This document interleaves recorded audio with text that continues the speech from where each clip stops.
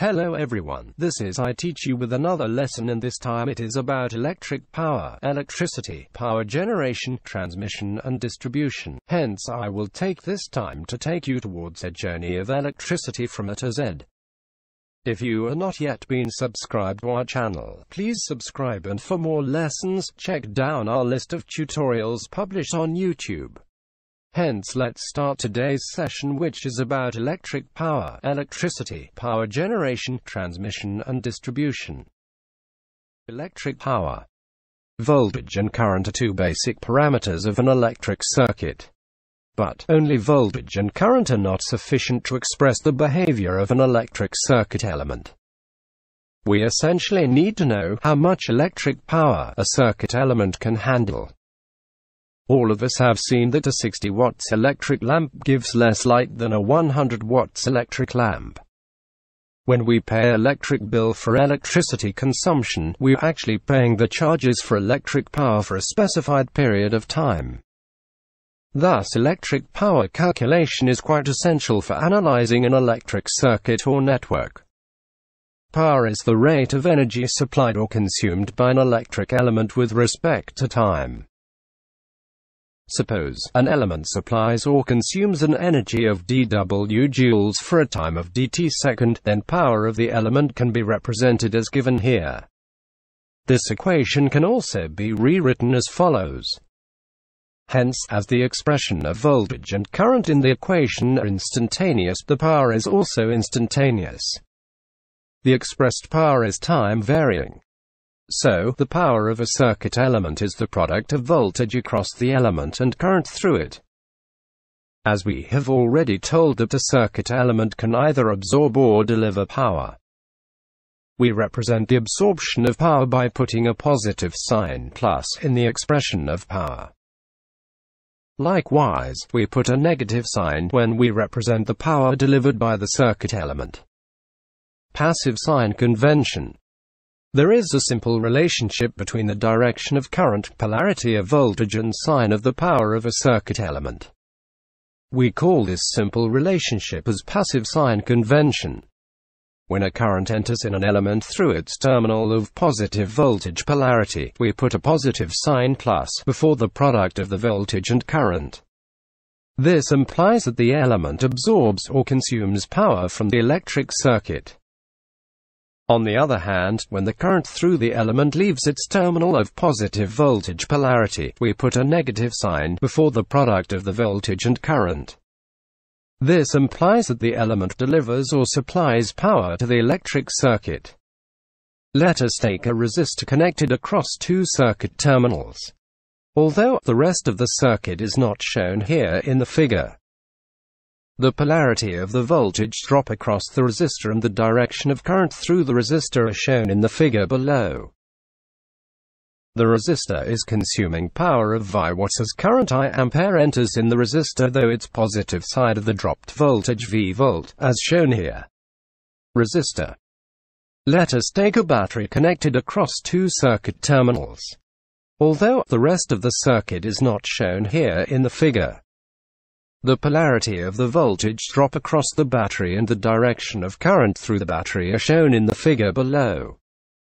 The battery is delivering a power of V watts as current I ampere enters in the battery of V volt through its positive polarity terminal as shown here. Battery. Electricity. There are some inventions which charged the human civilization. The first invention was the wheel, the second invention was electricity, the third invention was telecommunication, and the fourth invention was the computer. We will discuss here the basic introduction of electricity. Each substance in this universe is made of plenty of atoms and each atom has the same number of negative electrons and positive protons. As a result, we can say that each neutral substance has the same number of electrons and protons in it. The protons are immovable and strongly attached to the nucleus of the atoms. Electrons are also bounded to atoms and orbiting around the nucleus in different distinct levels. But some of the electrons can move freely or can come out from their orbit due to external influences. These free and as well as loosely bonded electrons cause electricity. In a neutral condition, the number of electrons and protons is the same in any piece of substance. But if somehow the number of electrons in a substance becomes more than the number of protons, the substance becomes negatively charged as the net charge of each electron is negative. If the number of electrons in a substance becomes less than the number of protons, the substance becomes positively charged. The concentration of free electrons always tries to be uniform. This is the only reason for electricity. Let us explain in detail. If two dissimilarly charged conductive bodies come in contact, the electrons from the body of higher electron concentration will move to the body of lower electron concentration to balance the electron concentration of both bodies. This movement of charge as electrons are charged particles is electricity. The related terms in electricity.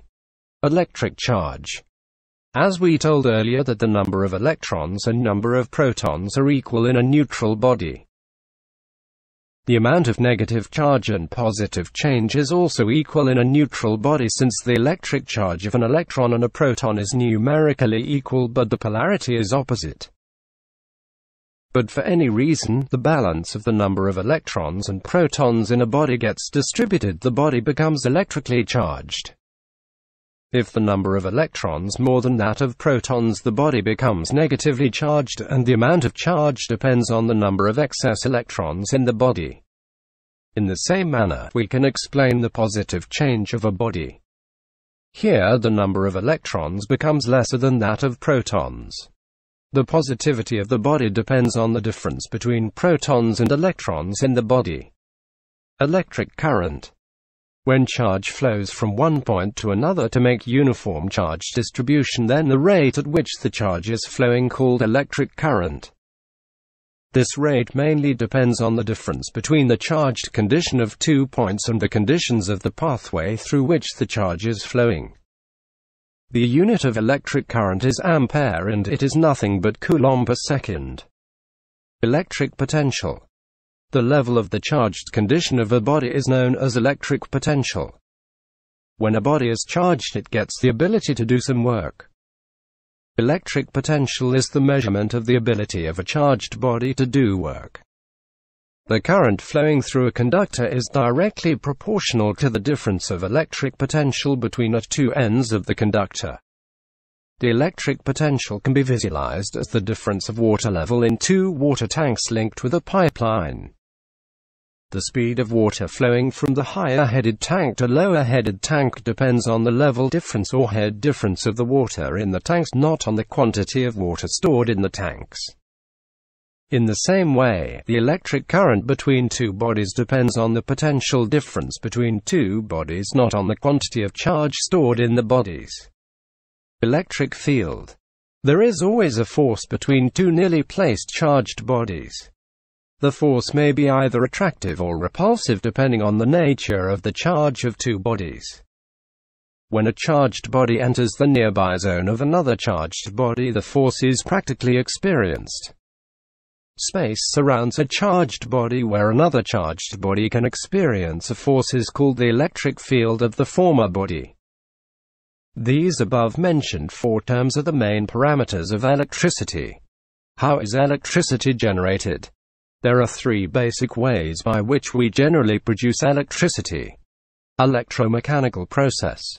When a conductor moves in a magnetic field and the conductor cuts the field flux lines electricity is produced in the conductor.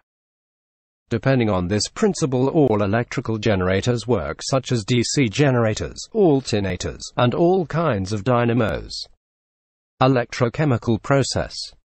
In all types of battery electricity is produced due to chemical reactions. Here, chemical energy gets converted to electrical energy. Solid-state electric generation. This is the most modern process of electricity generation. Here, free electrons and holes are generated at a p-n junction and distribution of charge carriers gets imbalanced across the p-n junction when the junction is exposed in the light. These free electrons and holes and their imbalanced distribution across the junction cause electricity in an external circuit. On this principle, PV solar cells work. Types of electricity. When electricity produced in the armature of a generator it is always alternating. That means polarity of electricity alters in a periodic interval. In DC generators the produced electricity in armature gets rectified through commutator. In alternators, the AC produced in the armature supplied to the external circuit through slip rings. When electricity does not change its direction it is called DC electricity. Batteries and solar cells produce DC electricity. Generation, transmission and distribution of electricity. After electricity gets generated in an electrical power plant it gets stepped up by step-up transformer for transmitting purpose. Generation of electricity at low voltage level is practical and economical. But low voltage transmission is not economical. But for electrical transmission, the generated electricity first gets stepped up and then, after transmission it is stepped down by step-down transformers for electrical distribution purpose. Generation of electricity, transmission of electricity and distribution of electricity are normally with three-phase system. Very ultra-high voltage AC transmission is not economical always and that is why DC transmission is sometimes used. The supply system of domestic houses may be a single-phase AC but all commercial, industrial and bigger house supplies are of three-phase system. Distribution of electricity. Nature of electricity and concept of electricity. Electricity is the most common form of energy. Electricity is used for various applications such as lighting, transportation, cooking, communication, production of various goods in factories and much more. None of us exactly know that what is electricity. The concept of electricity and theories behind it can be developed by observing its different behaviors. For observing nature of electricity, it is necessarily to study the structure of matters. Every substance in this universe is made up of extremely small particles known as molecules. The molecule is the smallest particle of a substance into which all the identities of that substance are present. The molecules are made up of further smaller particles known as atoms. An atom is the smallest particle of an element that can exist. There are two types of substances. The substance that's molecules are made of similar atoms is known as an element. The matter whose molecules consisting dissimilar atoms is called a compound. The concept of electricity can be achieved from the atomic structures of substances. An atom consists of one central nucleus. The nucleus is made up of positive protons and chargeless neutrons. This nucleus is surrounded by numbers of orbital electrons. Each electron has a negative charge of 1.602 times 10 caret 19 coulomb and each proton in the nucleus has a positive charge of plus 1.602 times 10 caret 19 coulomb. Because of the opposite charge there is some attraction force between the nucleus and orbiting electrons. Electrons have relatively negligible mass compared to the mass of the nucleus. The mass of each proton and neutrons is 1840 times the mass of an electron. As the modulus value of each electron and each proton are same, the number of electrons is equal to the number protons in an electrically neutral atom. An atom becomes positively charged ion when it loses electrons and similarly an atom becomes negative ion when it gains electrons. Atoms may have loosely bonded electrons in their outermost orbits. These electrons require a very small amount of energy to detach themselves from their parent atoms. These electrons are referred as free electrons which move randomly inside the substance and transferred from one atom to another. Any piece of substances which as a whole contains an unequal number of electrons and protons is referred as electrically charged. When there is more number of electrons compared to its protons, the substance is said to be negatively charged, and when there is more number of protons compared to electrons, the substance is said to be positively charged. The basic nature of electricity is, whenever a negatively charged body is connected to a positively charged body by means of a conductor, the excess electrons of negative body starts flowing towards the positive body to compensate the lack of electrons in that positive body. Hope you got the very basic concept of electricity from the above explanation. There are some materials which have plenty of free electrons at normal room temperature. The very well-known examples of this type of materials are silver, copper, aluminium, zinc etc. The movement of these free electrons can easily be directed to a particular direction if the electrical potential difference is applied across the piece of these materials. Because of plenty of free electrons these materials have good electrical conductivity. These materials are referred as good conductor. The drift of electrons in a conductor in one direction is known as the current. Actually electrons flow from lower potential VE to higher potential plus VE, but the general conventional direction of current has been considered as the highest potential point to low potential point. So the conventional direction of current has been just opposite of the direction of flow of electrons. In non-metallic materials, such as glass, mica, slate, porcelain, the outermost orbit is completed and there is almost no chance of losing electrons from its outermost shell. Hence there is hardly any free electron present in this type of material. Hence these materials cannot conduct electricity in other words electrical conductivity of these materials is very poor. Such material are known as non-conductor or electrical insulator. The nature of electricity is to flow through a conductor while an electrical potential difference applied across it but not to flow through insulator even high electrical potential difference applied across them. I hope you all now are able to clear what is electric power, electricity, power generation, transmission and distribution. Hence until we see again in our next lesson, goodbye and don't forget to subscribe us if you are not yet done.